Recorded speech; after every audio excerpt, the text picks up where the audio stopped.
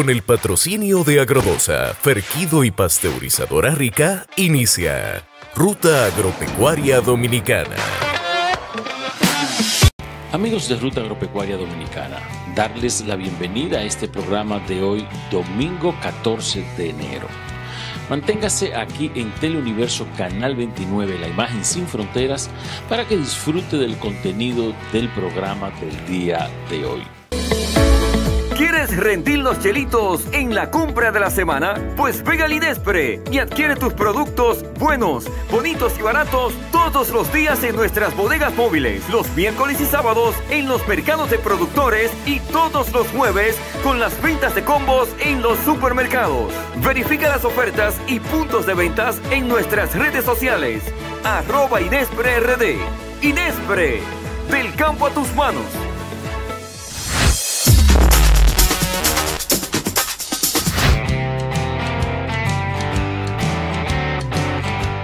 Amigos de Ruta Agropecuaria Dominicana, juntos a Enrique de Castro, Enriquito, aquí en la premiación de medallas al mérito de la ADA. Enrique, el sector carne atravesando por algunas eh, complejidades al aprobarse pues la certificación sanitaria de varias plantas de producción y exportación de carne desde Brasil, un país que va a dar eh, mucha agua de beber por sus dimensiones y sus ventajas comparativas que tiene.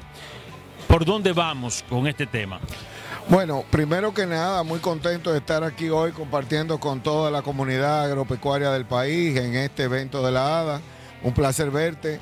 Eh, en este tema lo que estamos verdaderamente todavía esperando un interlocutor de parte del gobierno, esperamos que esto se va a lograr y que vamos a poder verdaderamente estructurar una forma de que el sector pueda seguir adelante con, con contribución de todos los sectores para formar un futuro para la ganadería dominicana. Pensemos que el gobierno toma la decisión de, bueno, controlar el tema de cualquier importación desventajosa para los productores dominicanos. No hace falta la implementación de un plan, de un programa de desarrollo de la ganadería de carne en la República Dominicana. Sí, hace falta totalmente un plan de desarrollo para la ganadería dominicana que tome en cuenta las posibles importaciones, que tome en cuenta las necesidades del pueblo dominicano, pero que también considere las necesidades del sector productor y del sector industrial para que podamos entre todos eh, suplir al pueblo con buena carne de calidad al mejor precio posible y también que los productores tengan los mercados necesarios para poder desarrollar el sector. Amigos de Ruta Agropecuaria, Enrique de Castro, presidente de Azocarne, continuamos con el programa.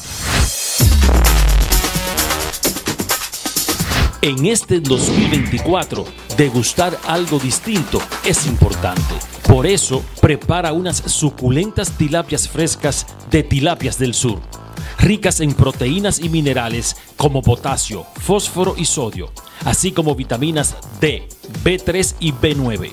Recuerda, frescas del estanque a tu mesa. En Tilapias del Sur pagas por lo que pesa al por mayor y al detalle. Contáctanos al 809-480-7259 de lunes a sábado, de 7 de la mañana a 2 de la tarde. Tilapias frescas de Tilapias del Sur. Calle Berna, número 17, Los Tumbaos, Baní, Peravia.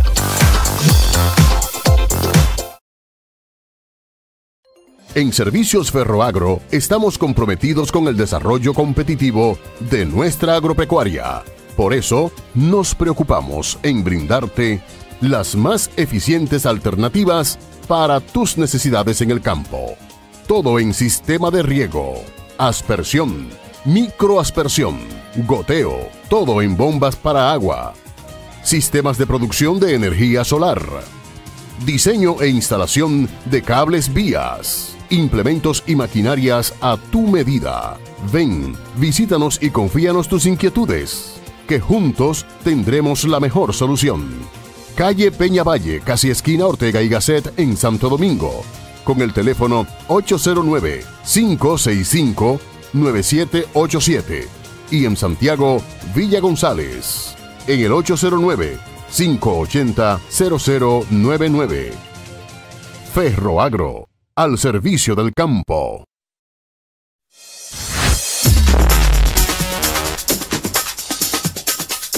Amigos de Ruta Agropecuaria Dominicana, en nuestro primer comentario nos vamos a referir a una información que salió publicada en el diario digital Hoy. Y esta información toca un tema sensible en los momentos actuales en nuestro país.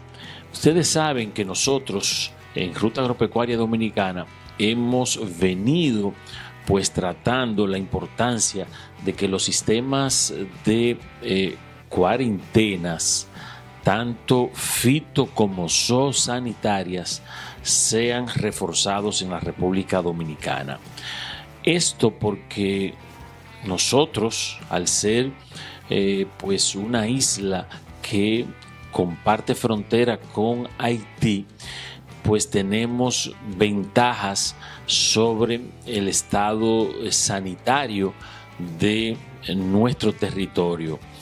Es verdad que la frontera con Haití es un, este, es un área sumamente difícil por las debilidades institucionales que el país vecino pues eh, sufre, no tiene controles suficientes y esto se convierte por supuesto en una amenaza constante para nuestro país en todo lo que tiene que ver con sanidad tanto animal y vegetal y también la sanidad humana. O sea, las cosas que pasan en Haití probablemente pues van a venir al territorio dominicano y por eso usted ve constantemente el Ministerio de Salud Pública pues atendiendo las situaciones que se presentan con los vecinos haitianos porque eh, probablemente van a afectar a la República Dominicana y hay que estar haciendo operativos para tratar esas enfermedades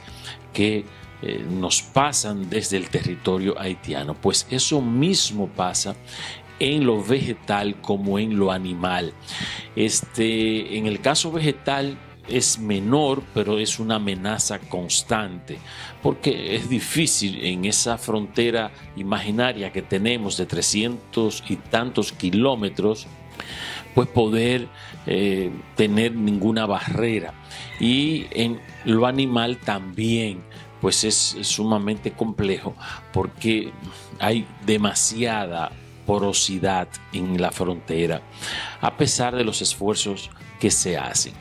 O, fuera de ese contexto del problema de la frontera haitiana para mantener controles eh, fitosanitarios, tenemos eh, debilidades más este, preocupantes, porque todos conocemos que somos un país pues que eh, apostamos al desarrollo y la explotación del turismo internacional. Y acabamos de celebrar, por ejemplo, que el país ha este, logrado eh, tener el turista número 10 millones en un periodo de 365 días. Lo que quiere decir que tenemos un flujo de personas de todas partes del mundo que vienen a la República Dominicana a visitarnos. Y esto implica que por vía aérea pues estén llegando alrededor de 7 millones 850 mil turistas y por vía eh, marítima 2 millones eh, y tantos eh, turistas que vienen a través de los cruceros, además de los barcos de cargas atracan en los puertos de la República Dominicana. Y estos son este, posibles eh, puntos para que vectores de transmisión de enfermedades desde otros lugares del mundo puedan pues arribar a la República Dominicana, sea por vía aérea o por vía marítima. Y esto implica que esa sanidad por ser isla, por estar aislados del contacto exterior, pues sea roto, sea eh, penetrado por este, ese constante arribo de aeronaves, aviones y este, barcos a los puertos. Y entonces esto crea un, un escenario en el que tengamos que tener eh, excelentes controles este, en las aduanas, en las puertas de entradas, para evitar, tratar de evitar, pues que se pueda penetrar el territorio dominicano de enfermedades. Hoy, pues estamos eh, conociendo la noticia eh, supuesta, no confirmada al momento de nosotros pues estar haciendo este programa eh, de que de nuevo ha aparecido en la zona del este pues la mosca del Mediterráneo. Nosotros no vamos a darle ninguna cobertura a este tema hasta que no se compruebe que realmente haya aparecido esta, eh, eh, esta nueva penetración de eh, la mosca del Mediterráneo. Pero este comentario tiene que ver con la información que sirvió el periódico Hoy, este, donde establece italianos se reúnen con ganadería. Y nosotros pues a propósito de ese preámbulo que hemos hecho y, de las implicaciones que esto tiene, eh, nosotros pues quisimos leer esta información para ustedes. Representantes de la Cámara de Comercio Dominico Italiana se reunieron con Giovanni Molina, director general de ganadería, con quien trataron sobre la veda impuesta desde octubre pasado que sanciona la importación de carnes porcinas provenientes de Italia. Realmente uno se queda pues eh, pensativo porque usted se pregunta, pero ¿para qué quieren unos empresarios italianos traer carne porcina desde Italia, pudiendo adquirirla en la República Dominicana?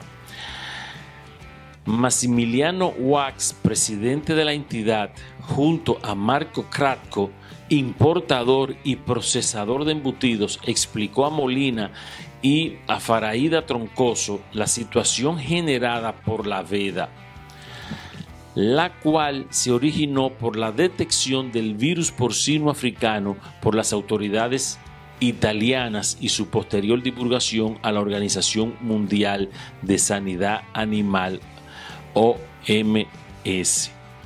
La restricción afecta las importaciones de carnes y embutidos italianos. Resaltaron el cumplimiento riguroso por parte de productores italianos acorde a estándares europeos y de Estados Unidos. Muy bien hecho por las autoridades de la Dirección de Ganadería porque el comercio libre y el comercio es positivo para el desarrollo de las sociedades pero la garantía de la sanidad en un territorio es una responsabilidad de los funcionarios que tienen en ese momento pues el cargo a su disposición. Y en este caso la Dirección General de Ganadería hizo correctamente en suspender las importaciones de carnes desde Italia y entonces eh, se afecta una empresa que quería servir embutidos producidos y procesados en la República Dominicana, pero con carne traída directamente desde Italia. Magnífico la creación de la empresa, el desarrollo industrial de la República Dominicana, pero realmente no es una prioridad ni una necesidad que estos embutidos no se puedan este, producir con eh, carne de cerdos dominicanos o de carnes de cerdos que esté en el mercado local y que no implique ninguna afectación al país. Porque fíjese, exactamente, la República Dominicana tiene dos años tratando el tema de la introducción de la fiebre porcina africana a nuestro territorio, donde en el continente americano, solamente en el territorio de la isla española, República Dominicana, Haití, es que ha habido presencia de esta enfermedad. Desde Alaska hasta Argentina, en ningún país del continente americano se ha detectado la fiebre porcina africana, solamente en República Dominicana en dos ocasiones, año 1979 y el año 2021, lo que quiere decir que no es necesario importar productos que puedan este, contaminar el territorio nacional. Fíjense las implicaciones que tienen, pues medidas que pueden dar al traste con un estado de salubridad del territorio nacional y que se puede ver afectado por una este, acción de comercio que tiene como objetivo pues vender y ganar dinero. En este caso hay que tener la valentía, como la tuvo la Dirección de Ganadería, de eh, detener la importación de carne porcina desde Italia, donde se anunció eh, la presencia de brotes de eh, peste porcina africana. Nuestras salutaciones a los funcionarios de la Dirección de Ganadería por tomar la medida de preservar el estado sanitario del territorio dominicano.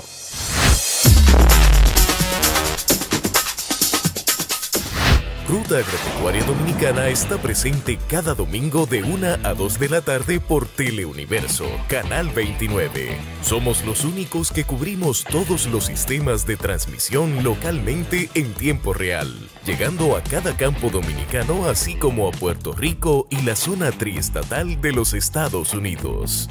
Ruta Agropecuaria Dominicana.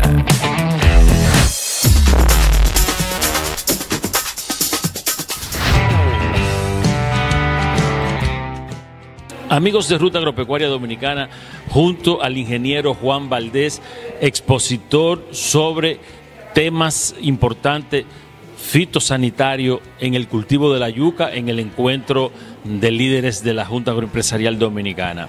Vimos unos datos importantes que se presentaron en cuanto a productividad y producción a nivel internacional, pero también al nivel local. Antes de hablar de los aspectos que afectan al cultivo, un poquito de esas estadísticas. Vimos lo de Guyana con una gran productividad, aunque no sea el mayor productor, pero eh, eso que se presentó, de nuestros datos, por favor. Bien, buenas eh, a todas las personas que ven este programa.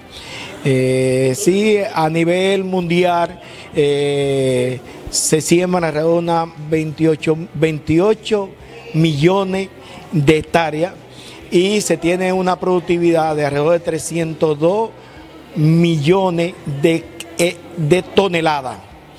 Eh, los mayores países productores eh, está África, que es el más productor, después sigue Asia y, y por último América Latina. De ellos ah, está Guyana, eh, que es la que mayor productividad tiene a nivel mundial. Eh, nosotros tiene alrededor, ellos tienen alrededor de unos 60 quintales por tarea, que equivalen como a 47 toneladas eh, por área, por, por, hectárea.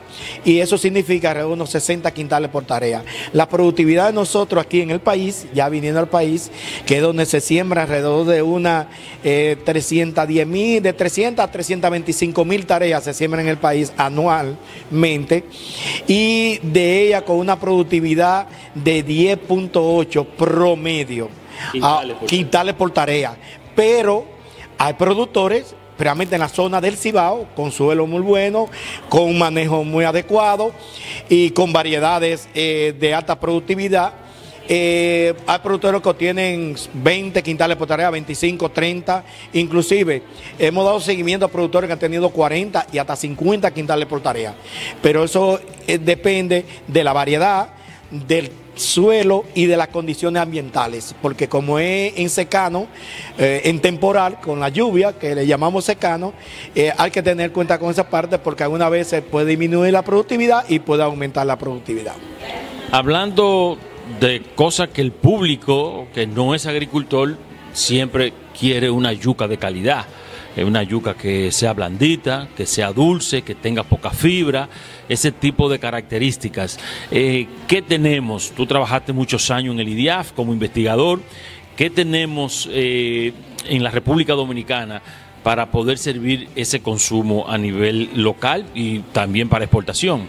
Bueno, durante el tiempo que duré y antes de eso tenía muchos años también trabajando, eh, tardé unos 30 años trabajando en el área.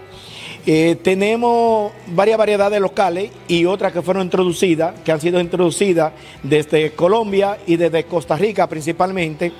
Y ahora en la actualidad eh, disponemos de un banco de gemoplasma con 42 variedades de yuca, eso en la estación de Sabaneta en La Vega.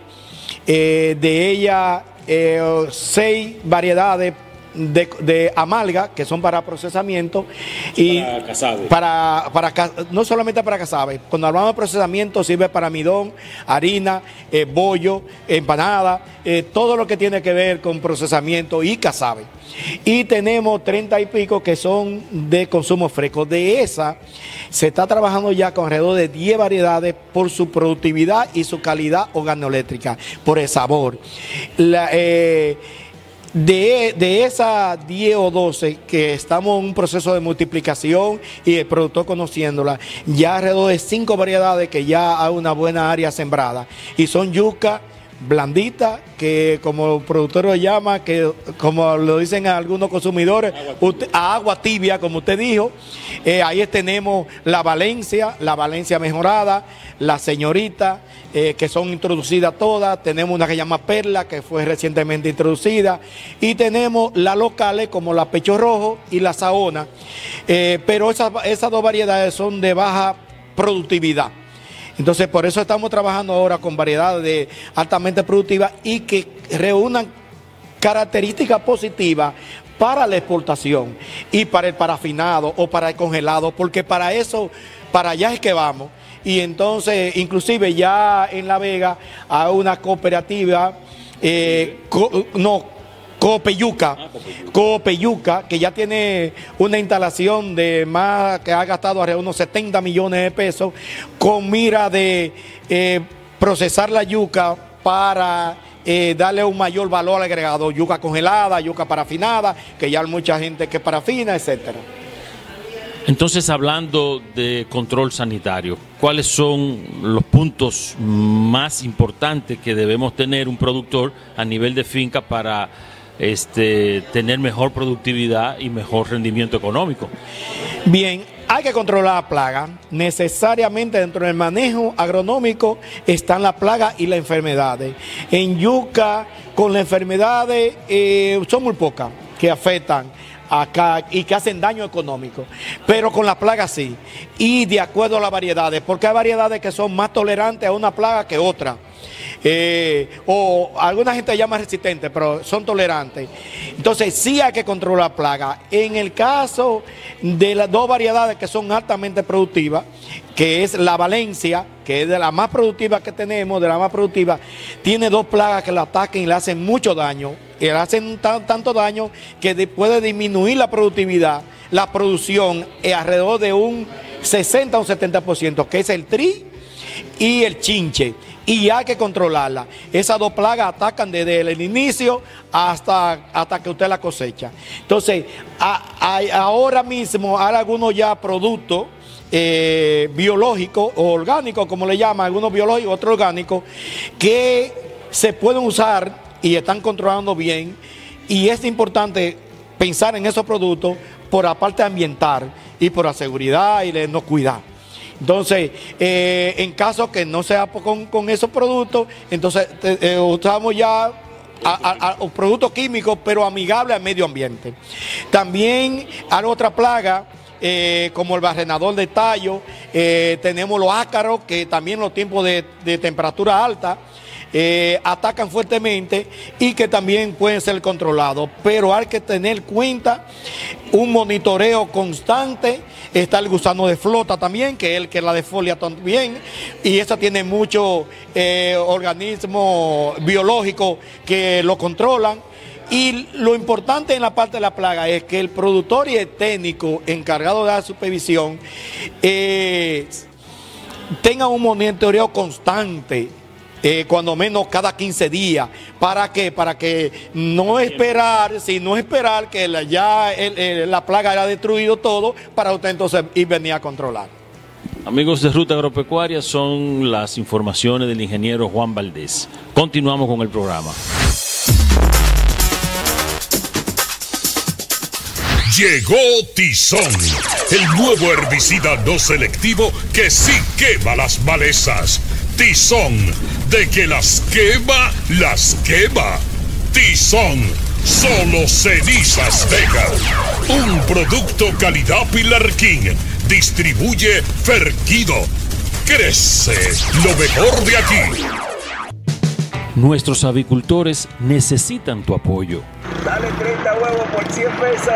Sigue llegando, vecina. A 100 pesitos cartón de huevos. Es el momento de consumir huevos y pollos. Recuerda, lo nuestro para nosotros.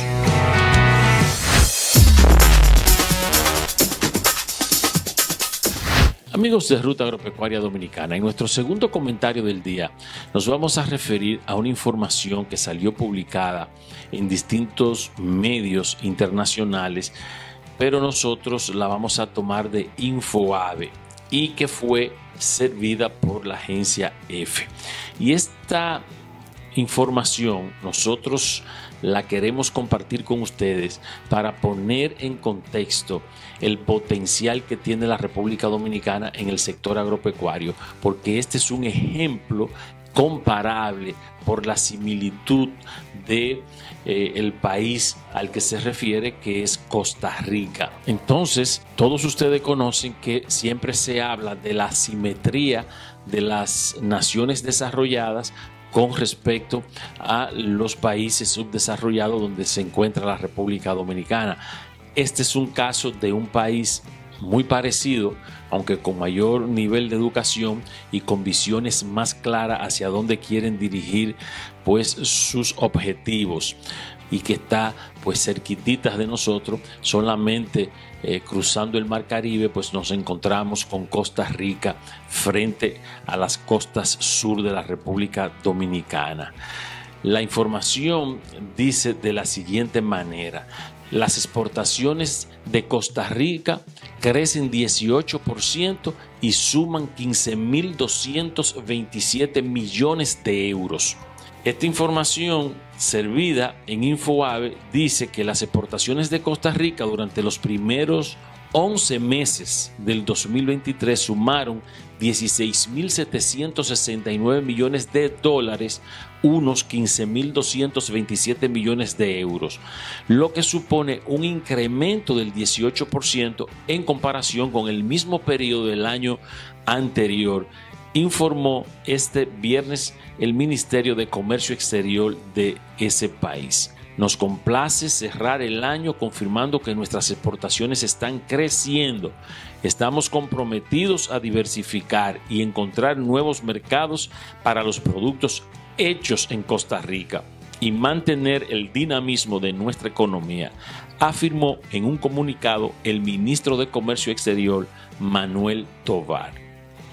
Los datos oficiales indican que la marca de 16.769 millones hasta noviembre del 2023 se debe a que hubo un crecimiento generalizado en todos los sectores exportadores, liderado por el área de equipo de precisión y médico con un 41% casi la mitad de las exportaciones y un crecimiento de 31% en sus ventas el sector agrícola ocupa el segundo lugar con una participación de 18% y un crecimiento del 12% en sus exportaciones. Y es por ese dato que nosotros estamos sirviendo la información.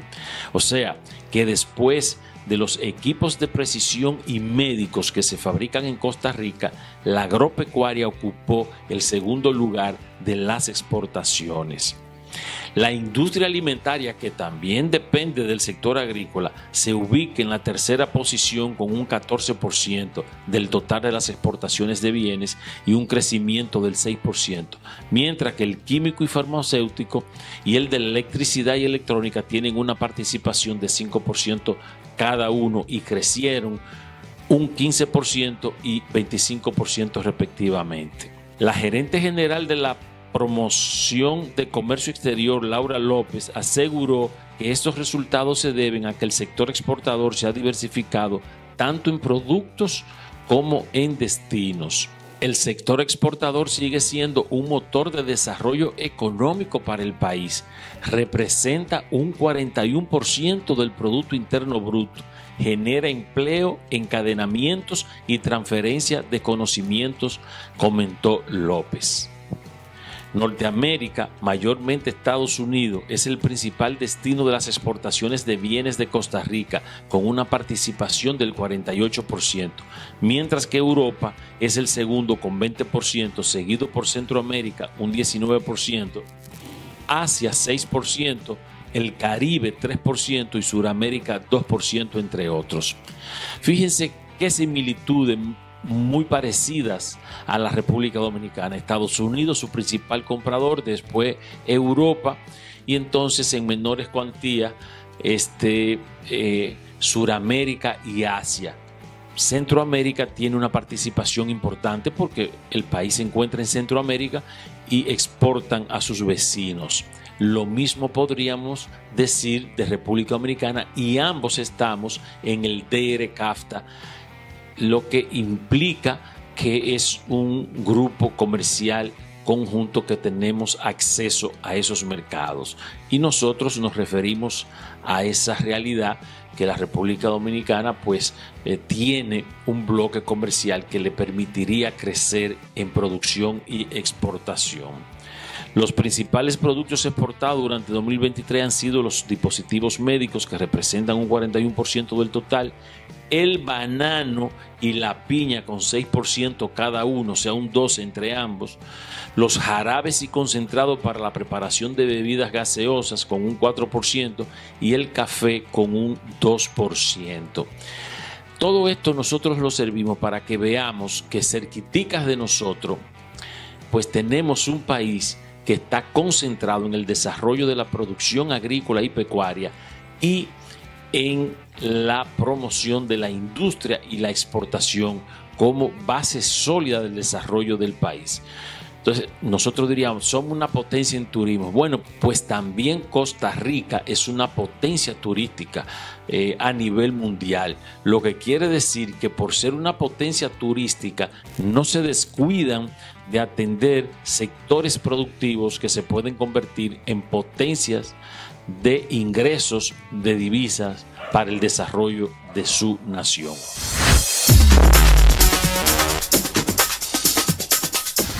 Ruta Agropecuaria Dominicana está presente cada domingo de 1 a 2 de la tarde por Teleuniverso, Canal 29. Somos los únicos que cubrimos todos los sistemas de transmisión localmente en tiempo real, llegando a cada campo dominicano así como a Puerto Rico y la zona triestatal de los Estados Unidos. Ruta Agropecuaria Dominicana.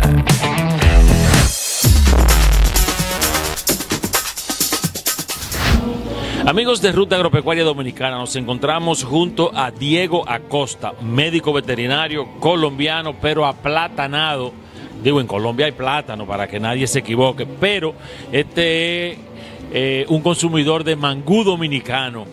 Diego, estuvimos viendo tu presentación sobre la importancia de los minerales en el ganado bovino en distintas etapas. Nos llama la atención un tema que es puntual y que los ganaderos no le ponen mucha atención y es los micros minerales.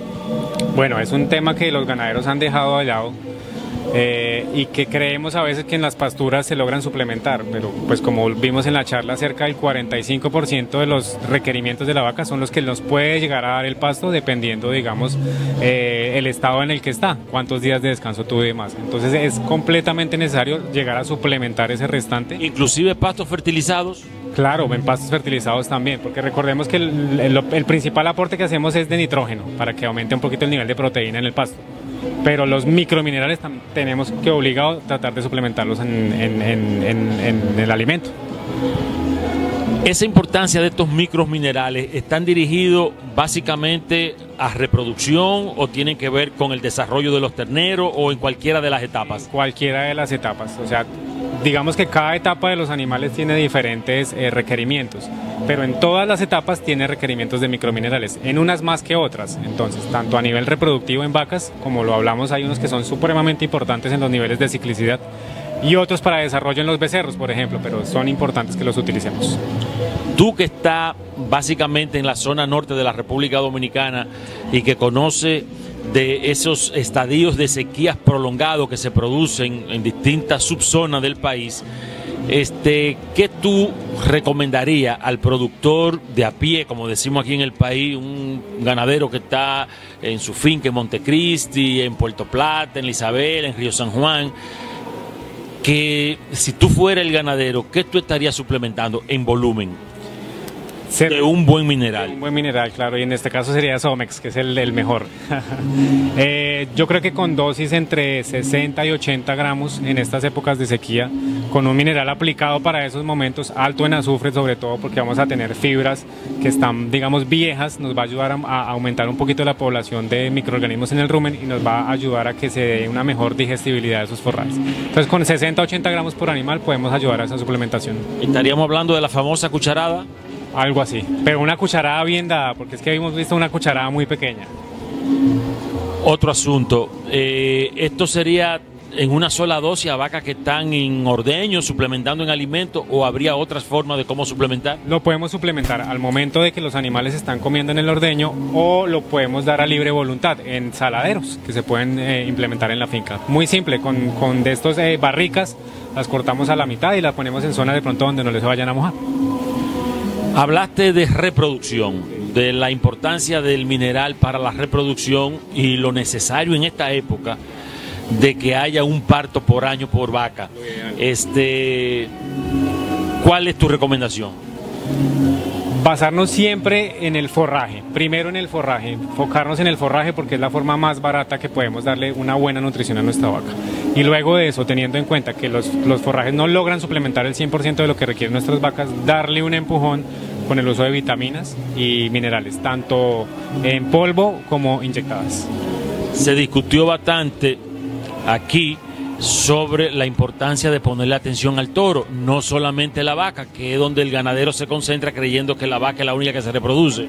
Sí, es, es un problema serio que hay en el país y como siempre yo lo he dicho, el toro es el, el, factor determinante en la, en, el, en la reproducción de la finca.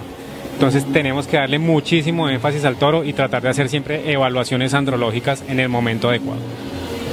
Y finalmente te referiste a que ustedes tienen eh, en oferta un mineral para eh, la etapa final de los novillos, la de ceba, exactamente. Es un mineral premium. Eh, nosotros tenemos acá en el país tres disponibles, pero hay uno que actúa o que trabaja mejor en esa última etapa de la ceba, que son más o menos 30, 45 días antes ya de finalizarlo, que nos va a dar ese empujón que necesitamos para que ellos terminen pues de, llenar, como dicen acá.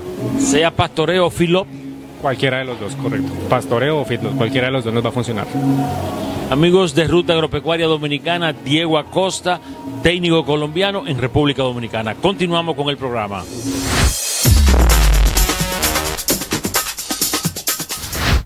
Necesitas tener tranquilidad y la única manera de obtenerla es con la compañía de seguros que respalda a los productores agropecuarios del país. Agrodosa. ¿Perdiste todas tus cosechas porque no estás asegurado? ¿Te quedaste con la mano en la cabeza? Necesitas estar tranquilo, obteniendo tu seguro agropecuario, porque te garantiza la inversión ante eventos impredecibles como ciclones, tornados, inundaciones y sequías. Duerme tranquilo con Agrodosa, porque protegen tus cosechas, maquinarias e infraestructura. Solo tienes que visitar una sucursal del Banco Agrícola para obtener tu póliza. Después de evaluar los daños, en solo 15 días te pagan lo invertido. Agrodosa, la confianza del agricultor.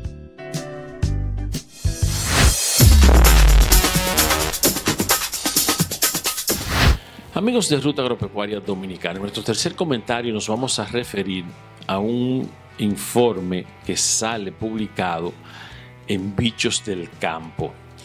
Y este informe es una información, valga la redundancia, de una tecnología que se desarrolla y que nosotros hace más de 3, 4 años hemos presentado para el conocimiento de los productores. Y esto lo hemos asociado a que el crecimiento poblacional del mundo pues es una constante que no se detiene. Y eh, pues eh, las tecnologías van a ser la garantía de que eh, la gente pues no tenga grandes hambrunas. Y distintos laboratorios científicos a nivel mundial se han dedicado a buscar soluciones para esta posible realidad. En este caso hay que sumar pues toda la tendencia de conservación del medio ambiente y el no maltrato a los animales, que es una tendencia creciente a nivel del mundo y que todo esto sumado pues hace un escenario, construye un escenario pues importante para que haya la intención de hacer negocios a partir de soluciones de este tipo que le vamos a presentar. Una empresa alemana anuncia que para el 2028 pondrá en el mercado una leche más sana producida sin animales desde las células de la propia leche. Esto es una información que nos llama la atención y que pues tenemos que estar conscientes de esta posibilidad. La carne de cultivo celular o la leche exclusiva para la nutrición infantil a partir de cultivar células de leche humana ya no son una novedad cuando se hable de alimentos creados en laboratorios. Por supuesto que los ensayos tienen personas a favor y muchos detractores, pero en general argumentan estas investigaciones es que apuntan a producir mayor cantidad de alimentos de forma sostenible. Lo que le dijimos, volumen y sostenibilidad. Es el caso de Senara, una empresa alemana que recientemente anunció tener la fórmula para producir leche fuera de la vaca. La empresa de biotecnología estuvo investigando cómo producir leche a partir de cultivar células directamente de la leche y no de la vaca, como otros proyectos similares que en el proceder aíslan las glándulas mamarias que de forma natural se encargan de producir leche dentro de la vaca. Para cultivar esas células en bioreactores, donde las hacen crecer para que desarrollen su función original segregar leche.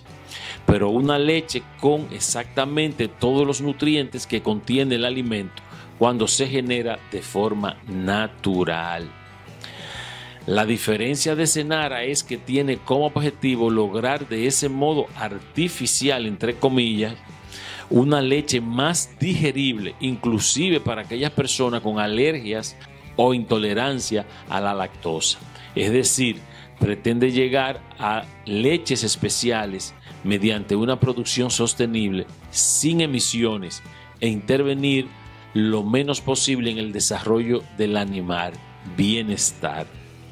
El proyecto además tiene proyecciones bastante ambiciosas y pretende llegar a producir leche de diferentes animales. Por eso, aunque trabajan directamente con la leche de vaca, también se analizan células de leche de otros animales, como es el caso de búfalos, bisontes, burros, cabras y ovejas. La idea es obtener una leche que posea los valores nutricionales del alimento convencional, pero de una forma más pura, sin bacterias ni antibióticos y libre de lactosa. ¿Es posible crear una leche de esta forma? Según explicó al medio Food Navigator, la doctora Sevena Daboensen, fundadora y directora del proyecto, durante el proceso se fueron seleccionando las células más eficientes en la producción de leche, a las cuales se les propicia un ambiente, temperatura y nutrientes adecuados para que se multipliquen y crezcan.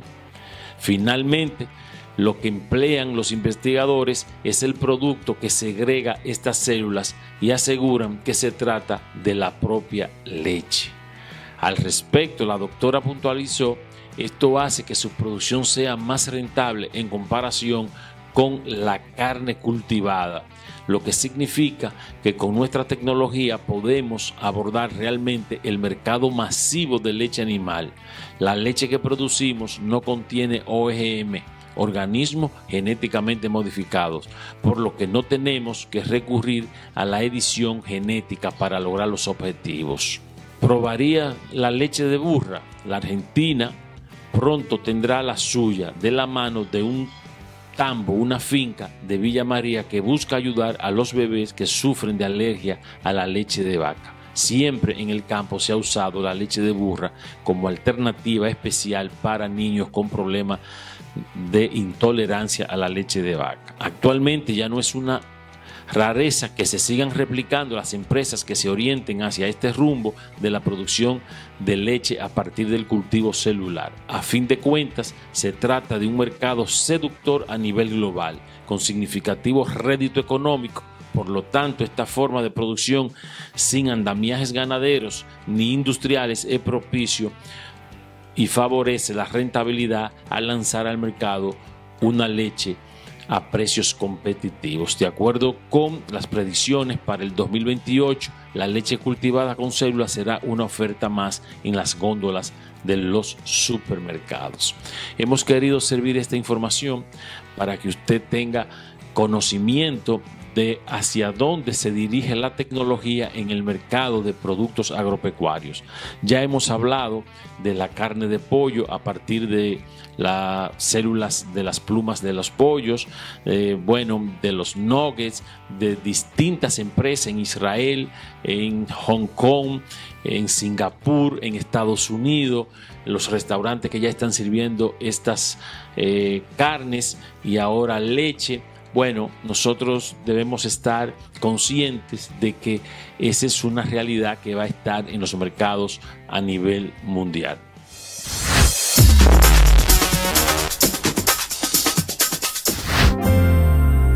La Navidad es rica, más de una noche buena se celebra en mi tierra.